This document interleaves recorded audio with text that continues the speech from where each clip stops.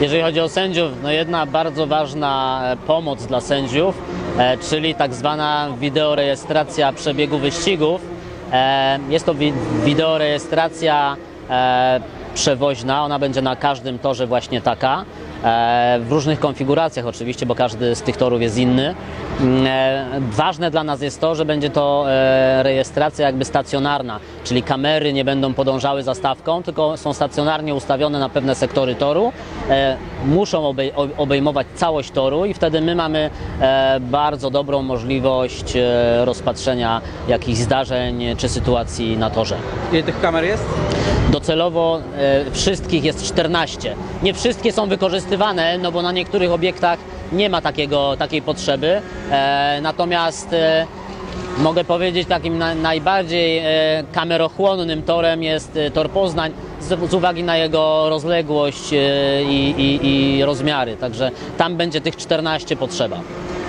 Jak to zmienia pracę sędziów?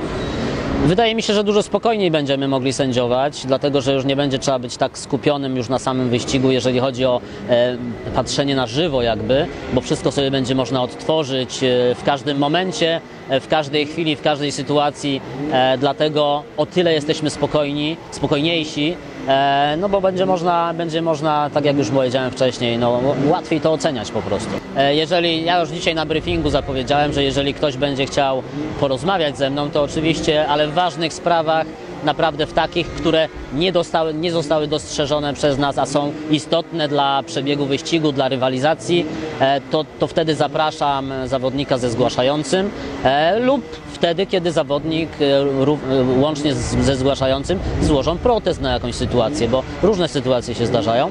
Natomiast myślę, że sytuacje wyścigowe no, w tej chwili będą na tyle sprawnie i szybko oceniane, że po prostu nie będzie potrzeby chodzić aż w takiej ilości do sędziego głównego, czyli nie będą, myślę, ustawiały się e, kolejki przed biurem e, sędziego głównego. E, Druga z ważnych zmian tegorocznych to zderzaki. Proszę mi trochę o tym opowiedzieć.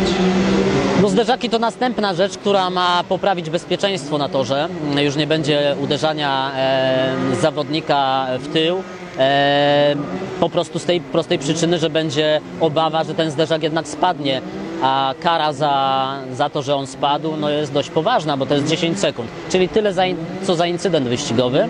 E, I myślę, że zawodnicy będą e, tym bardziej uważali e, i tym mniej będą wjeżdżali w zawodnika, który ich poprzedza.